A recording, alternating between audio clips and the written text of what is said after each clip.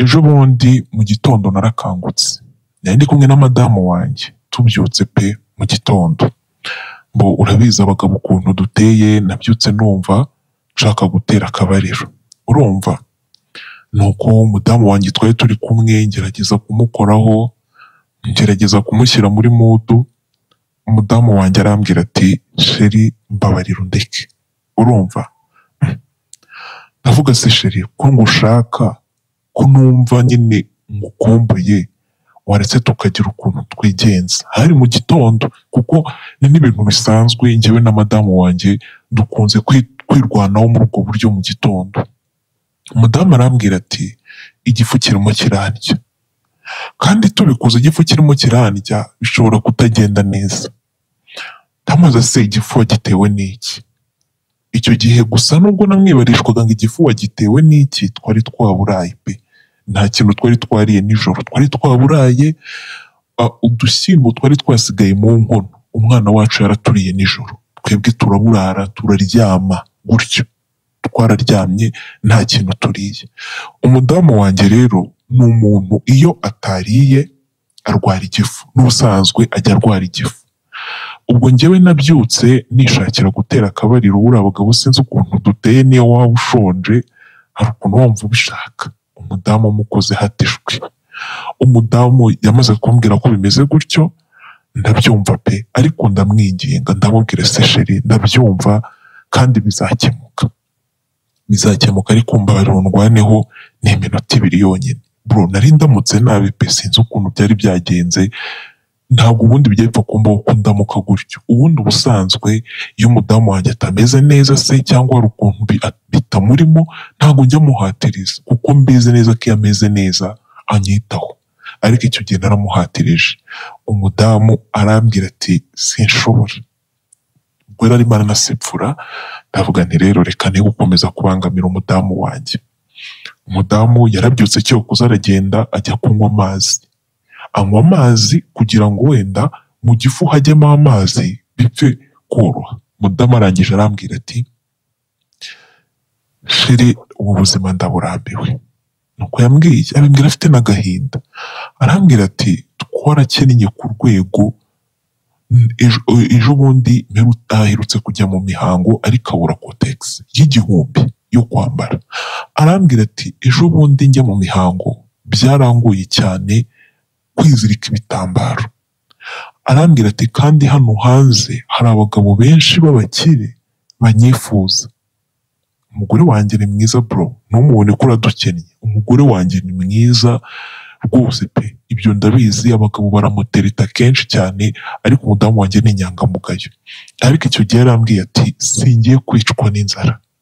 Arambwira ati inzara igeze aho inyica kandi rwose bikabije.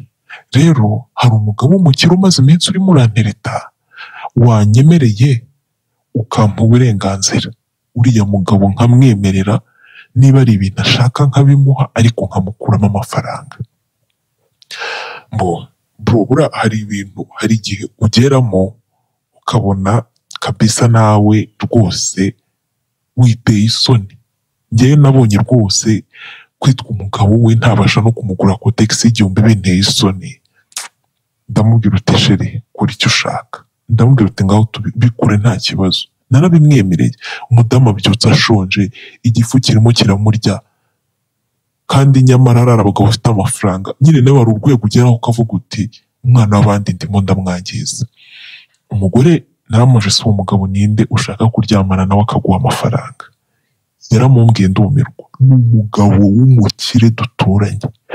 Bro w'umukire nyine nivuga w'umukire ubyumve umudamu arabimbwiye mbanza kugira arambeshya ntamuzi uriya mugabo yaraguterese umudamu mu mwanya yazanye telefone aranyereka.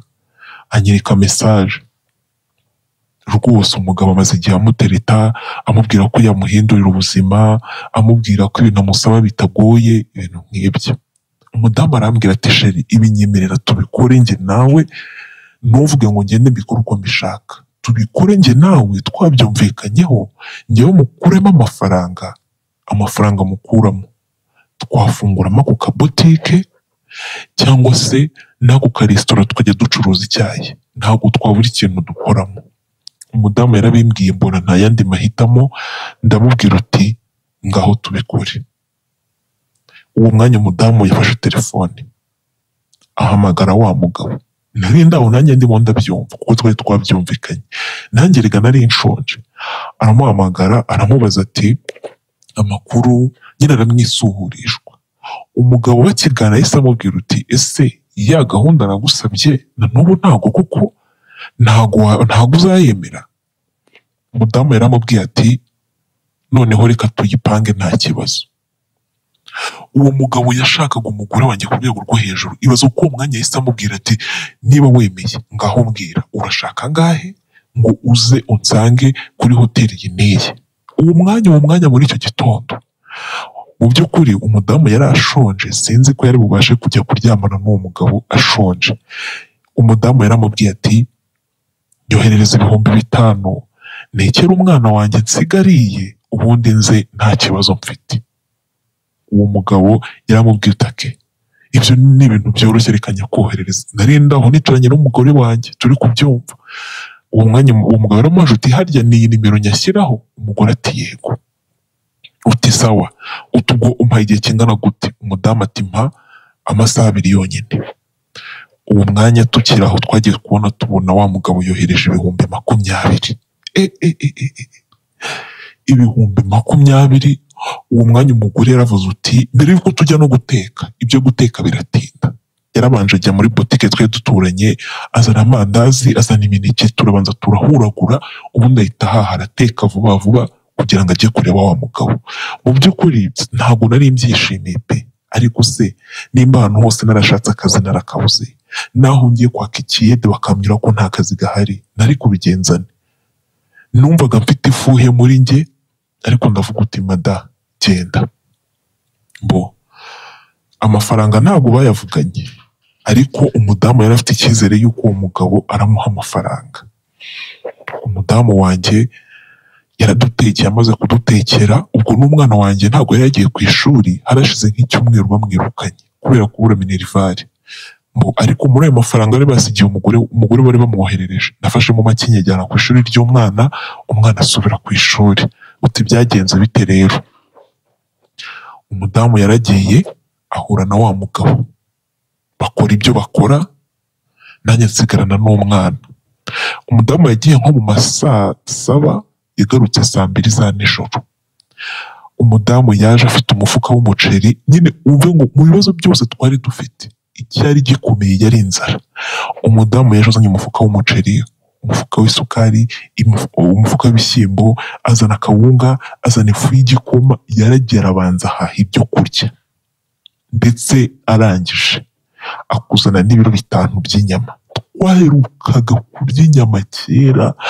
Umudamu yaraje arambwira ati shere nabikoze? Uyu mugabo yampaye amafaranga ariko amafaranga yampaye ntago yavamo igishoro. Utari kuwempa igihe uyu mugabo mwiteho mufate neza.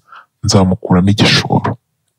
Yarabimbwiye kandi koko nari mbonye ikimenyetso. Icyo gihe umudamu wanjye bari bamuhaye ibihumbi ijana. Muri ibyo bihumbi ijana rero yazanyemo umufuka w'isukari igice umufuka w'umuceri azanamo ibishyimbo nyine we yarahashye ibintu byamara iminsi aguramo n'izo nyama ibihumbi ijana birashira. Ariko nibura bishira dufite ibyo kurya mu nzu. Twariye inyama twarariye turahaga tumajije guhaga tumeze neza. Iryo joro n'umudamu wanjye noneho twararongoranye. Kandi twaryamanye neza bigenda neza buryo wariye wahaza umeze neza nta kindi kiba gisigaye. Mbo umwana asubira ku ishuri ariko ubwo uwo mudamu arambwira ati muri iyi minsi ngiye kuba ndimo ndaryamana n'uyu mugabo ariko nabibonye amafaranga nzayamukuramo. Nibura nk'ibihumbi magana atanu. Umudamu narabimwemereye pe kuko nari mbonye ikimenyetso cya mbere yuko bino bintu bizakunda. Erega iyo ubuze uko agira agwa neza kandi ubuze icyo afata afata icyo abonye nari kubigenza nte? Gusa nanjye sinari ndyamye. Buri mu gitondo namaraga kurya byose mbirangije nkahita ngenda. Nkajya gushaka nibura ko nabona akazi. Ariko niba ari inyatsi niba ari amarozi njye natinze kubona akazi. Umudamu yagendaga nka gatatu mu cyumweru biza kugeraho atangira kujya agenda kenshi. Umudamu aragenda ahaha ibintu mu nzu ahaha imyenda aragenda amahira nanjye imyenda. Umudamu nyine ibintu byose twari dukeneye mu nzu aratangira abyitaho. Bivuze ngo yabyitagaho kuko babaga bamuhaye amafaranga. Ariko ubwo amafaranga babaga bamuhaye ntabwo ari amwe wenda yabaga yavamo igishoro. Umudamu twakomeje kubana gutyo gusa ikintu mushimiraho muri iyo minsi yose nubwo yagendaga akarongorwa sinarenze ngo aracyaryamana na wa mugabo sinarenze ngo n'undi ariko nubwo yagendaga akarongorwa nijoro iyo twajyaga kuryama. Ntabwo ari wa muntu wazaga ngo ndananiwe kuko narongowe aha yarazaga akampa ndetse akampa neza nkaho nta n'icyabaye. Gusa kubera ko nanjye mfuha muri njye nkirinda kumubaza nti ese aho wagiye byagenze bite? Baguhaye angahe? Na a ndatuza ndavuga uti nanjye nk'umuntu w'umugabo reka mpuwe nkomeze nshaka amafaranga nkomeze nshakisha akazi bizagera aho bigende neza. Umudamu tubana muri ubwo buryo umudamu mbona atangiye kwisiga amavuta akesha uruhu umudamu aragenda aracya umudamu atangira kwambara imyenda ihenze. Ndavuga si uyu mudamu gahunda twari dufitanye yarayibagiwe urumva we yaragiye abigira nk'akazi. Buri munsi nkabona arambaye aragiye. Buri munsi nkabona arambaye aragiye. Namaze se noneho ugiye he? Utuwe tuza ndi muri diru nyinshi. Bro umudamu yaragiye yego araduhahira tumera neza ibyo kurya umuntu arongera arabyibuha ubwo ntarabona akazi ariko umudamu aza guhinduka. Nyuma naje kumubaza se ko twari twaravuganye yuko ugiye gushaka igishoro ukava muri ibi bintu nkaba mbona ubikomeje amaherezo azaba ayahe mudamu yarambwiye se urishuwa neza ko ari byo nkirimo? Uti nta nubwo wakeka yuko mfite akandi kazi mba nagiyemo. Uti kuki wumva ko ari biriya naba nkikora? Umudamu atangira guhinduka atangira kujya ansubiza nabi ambwira nabi. Urabizi umugore wabonye amafaranga bro umudamu wanjye yaragiye arahinduka atangira kunsuzugura. Ati gute umudamu mu gitondo yabyukaga agenda. Sinabaga nsingagiye hehe yari yarabigize ibanga. Umudamu akambwira ati sheri uze kumfurira iyi myenda ejo niyo nzambara. Uze gufura imyenda y'umwana uze kunyugereza ibyombo uze gukora ibi n'ibi n'ibi n'ibi agahita agenda. Ubwo njye noneho ntabwo yari akimfata nk'umugabo we ahubwo yari atangiye kujya amfata nk'umukozi. Gute? Iyo yazaga agasanga nafuze imyenda mike mu yo yari yambwiye. Yarantukaga akambwira ati kuba uri hano mu rugo kuki uba utafuriye imyenda? Ubu ejo nzajya mu kazi nambaye iki? Kubona nta kintu wowe urimo urakora uba uri hano mu rugo nkabatumwa nkamenyera buri kimwe. Gufata imyenda yanjye ukamfurira ni ibintu bigoye umudamu atangira kujya ambwira nabi. Ejo akambwira ati uze guteka ifi witeke gutya na gutya yazayasanga wenda byashiririye cyangwa byagenze ukundi kuntu umudamu akambwira nabi. Noneho si ibyo gusa muri iyo minsi umudamu yatangiye no kujya yanga ko turyamana akaza ananiwe ahita aryama. Bro mu by'ukuri ikibazo cy'inzara cyari cyarakemutse twari dusigaye turya neza twambara neza ariko nta kazi kagaragara ngiye mbona dufite dukora. Umudamu nagerageza kumubaza poroje twari twihaye akanyihorera. Kuko nyine yabonaga ko adutunze umwana yasubiye mu ishuri akumva nyine ntakwiye no kumubaza ibintu byinshi. Naravuze nti ibi ntabyo. Kankomeze nshaka akazi hasi hejuru. Niyo nabona nako mu rugo noneho. Ariko kwirirwa gutya nsuzugurwa n'umugore ndabona ibi ntabyo. Narakomeje nkirirwa nzenguruka umuhanda mbaza ahantu hose ese nta biraka ese nta kiraka naje guhura n'umudamu. Hari umudamu twahuye imodoka yari yamupfiriyeho umudamu icyo gihe twarahuye arambaza ese nta hantu hano hafi uzi hari igaraje umudamu mubwira ko ntaho nzi arambwira uti basi ka ngusabe umusada wankorera. Uti nsunikira imodoka kuko ari akantu gatoya pe katari kaguye. Ariko byasabaga ko hagira umuntu umusunika. Arambwira ati sa nk'usunika iyi modoka nyatse ndebe ko yava hano hantu.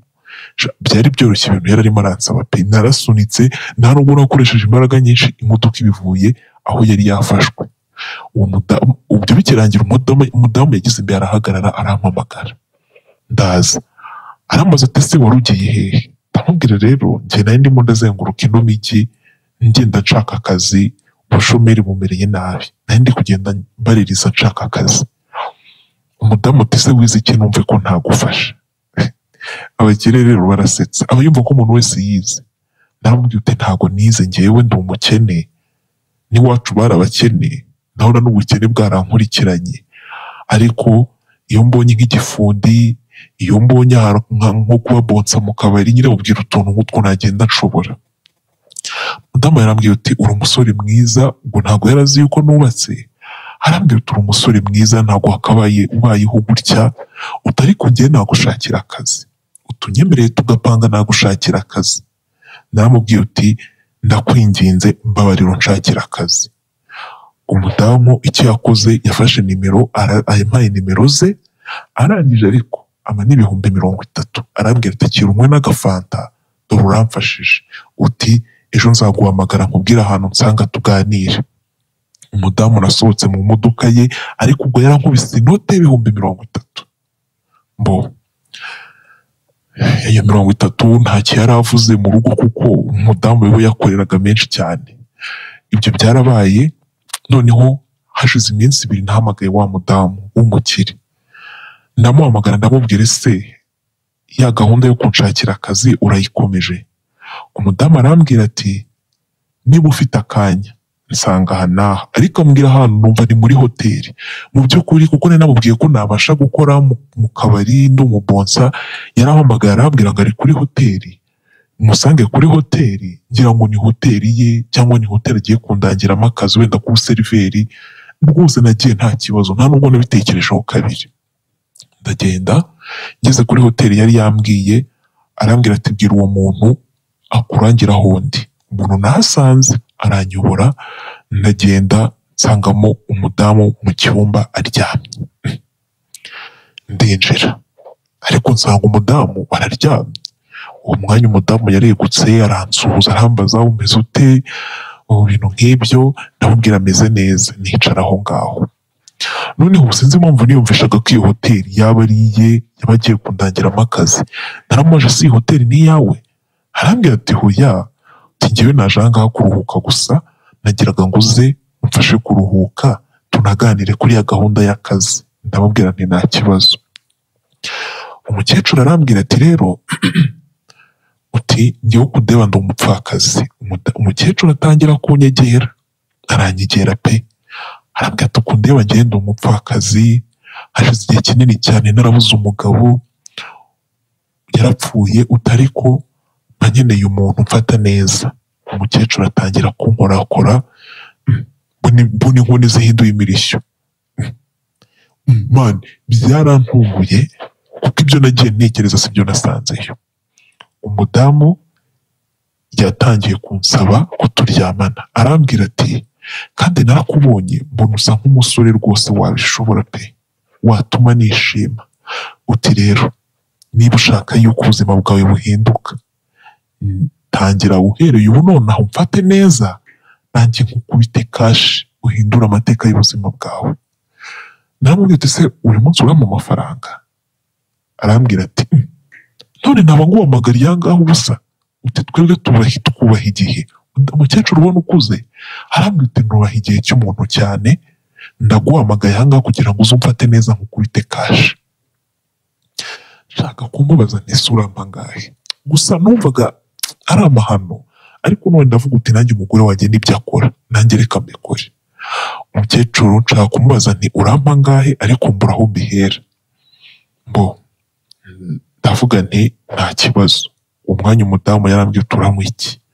Bitewe n'uko nari ngiye kurongora umudamu mbona unduta naravuze uti bampa inzoga. Kandi ubundi naherukaga kunywa inzoga kera. Banzaniye inzoga ndabanza ndanywa ndabanza ndasinda maze gusinda umudamu twararyamanye pe. Ndamurongora kandi murongora nk'ushaka amafaranga. Umudamu twararyamanye umva sinzi ukuntu abikubwira yari anaryoshye pe. Twararyamanye yari aryoshye urumva nawe umudamu umaze igihe kinini adafite umugabo nawe urabyumva. Kandi rega impamvu uranabikuza umudamu yari amaze igihe anyima. Mbo umukecuru twararyamanye arambwira ati ndashaka turarane. Kuko nagiye kureba ubundi bwije. Arambwira ati ndashaka turarane ndaguha amafaranga menshi. Umudamu twarararanye umudamu ndaramurongora nyine nk'umuntu uri ku kazi. Ariko ubwo mu mutima nkajya mvuga uti mana nkoze icyaha pe. Ariko mfashe umudamu ntabe yambeshye. Bwarakeye saa kumi n'ebyiri nsanga umudamu wanjye arimo arampamagara. Arimo arampamagara yandikira mesaje uti ndagiye waraye ko watinze ibi n'ibi n'ibi? Umwana agiye atamuye igikoma ese uyu mudamu wangize umukozi we. Birancanga nyine. Mbo muri icyo gihe umudamu tumaze kuryamana yafashe sheke ansinyiraho miliyoni imwe. Ndavuga ndebye neza cyangwa? Ansinyira miliyoni imwe. Arambwira ati wa musore we aya mafaranga nguhaye ni nk'agatonyanga mu nyanja. Ngewe umugabo wanjye yari umukire cyane cyane. Wowe nyemerera uryo mfata neza. Ngiye nguha amafaranga. Nafashe ayo mafaranga ibintu birandenga ndavuga se ibi bintu bibaho ko umugore aguha amafaranga angana gutya? Ndumirwa nyine. Nakoze iki? Naravuze uti uyu mudamu ikigaragara ashobora kuba kuko afite gahunda. Miliyoni naragenda ayifata nyikubita kuri konti. Nanjye mbesha umugore wanjye ko hari umudamu turimo turaryamana. Ndatuza mba mbiretse. Umudamu akomeza ku gasuzuguro ke no kunyiyemeraho ubuzima burakomeza. Noneho rimwe umudamu yarampamagaye arambwira ati ndagira ngo uze uyu munsi wongere umfate neza narabikunze ariko ndashaka umfate neza noneho mu gihe cy'ukwezi kose. Uti ntabwo turajya tubana ariko nibura buri joro ujye uza kundeba. Mu kwezi kose urumva naguha angahe bro narabuze se mubwire miliyoni eshanu. None se ko yamaye miliyoni ari umunsi umwe mubwire ngo iki nabuze ikintu mubwira naramubwiye uti wowe umpaye ushaka. Umukecuru yarambwiye uti narabuze umuntu dusangira amafaranga yanjye none ndakubonye. Umudamu yakoze iki? Bro bimwe kubwiye wagiye ndakubeshya. Yafashe miliyoni makumyabiri. Arazima. Arambwira ati ariko buri munsi ugomba kuzajya undongora buri munsi buri munsi buri munsi. Narabimwemereye mfata izo miliyoni ndagenda ndabanza nshora muri bizinesi ndabanza mfungura akabari. Ubwo mu ibanga ryanjye madamu ntarabimenya. Nafunguye akabari keza kari vip ndetse ngafungura ahantu hari hasanzwe hari akabari ariko gakeneye kuvugururwa. Ubwo nanjye simba y'umukire kandi urumva amafaranga yari agihari ikindi nakoze ni iki? Nashatse umukozi wo mu rugo. Kuko uwo mudamu yara- yabaga akitegereje ngo ndazamfura imyenda y'umwana nabanje nshaka umukozi wo mu rugo. Umudamu biramucanga. Umudamu yari ataramenya ngo ndi gukora iki? Umukecuru mufata neza mufata neza mufata neza muri iyo minsi rwose. Nyuma umudamu ni bwo twaganiriye umudamu wanjye. Umudamu arambaza ati ese ko washatse umukozi? Umukozi washatse uzajya umwishyura iki? Umudamu narambwira hari ikintu nkeneye yuko umenya. Hari ikintu nkeneye ko umenya.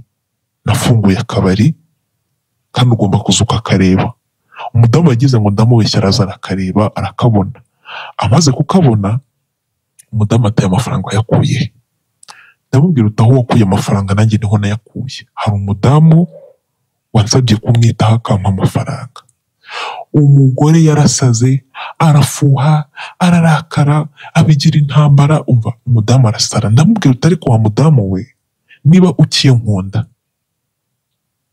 nyemerera uhagarike ibyo urimo uze tujye muri bizinesi y'akabari nanjye iby'ibi ngibi by'uyu mukecuru ndimo mbireke twikomereze akazi kacu umubano wacu nk'uko twakundanaga. Dukomeze gahunda zacu. Umudamu ati hoya utu umugabo wagiye hanze biba byarangiye. Ntabwo n'ubundi ngo wowe wakongera kunkunda kuko wabonye abagore b'abakire. Kuki? Umudamu yararakaye ariko mbona ahubwo umudamu yashakaga ko dutandukana. Kuko yaravuze ngo umugabo wagiye hanze biba byarangiye. Ngo ubu ngubu ngo ubwo wageze mu bakecuru byarangiye ngo ntabwo nanjye nakomeza kubana nawe. Ndashaka dutandukane. Nuko umudamu yambwiye. Bro nari gukora iki? Naramubwiye dutandukane kuko nari mbibonye ko atanshaka twaratandukanye ariko nsigara n'umwana wanjye kuko we nta mwanya abona wo kwita ku mwana. Ni ukuri aragenda. Nsigarana n'umwana wanjye n'umukozi akabari kanjye. Ndi kukitaho ni nako nkomeza kwita kuri wa mukecuru gusa ntabwo nakomeza kuryamana n'uriya mukecuru. Ndashaka ukwezi twumvikanye nikurangira nzahite mureka nkomeze bizinesi yanjye. Rero uriya mugore wanjye ibintu yaje akababwira ngo nagiye mu buraya njyewe ntabwo byari ngombwa ko nkubwira uko byagenze. Ariko ni uko byagenze ibyo ari kuza ababwira ngo ni njye wamunaniye yarababeshye. Niyo nkuru yanjye ni uko byagenze umudamu ndamubwira mbese ko tumaze kubona amafaranga ndetse tugakomeza gahunda umudamu aranga. Ntari gukora iki se? Yansabye divorce ndasinya turatandukana birarangira buri wese akomeza ize none ejo bundi namuciyeho mbona asigaye afite n'imodoka. Urumva ko we gahunda twari twumvikanye yarayishe ntabwo ariyo yari akirimo. Urumva umuntu none ahise agura imodoka gusa urumva arakitwitayeho ngewe n'umwana. Rero ye kuza babeshya ngo twatandukanye ngo kubera uburaya bwanjye ni uko byagenze nta kundi.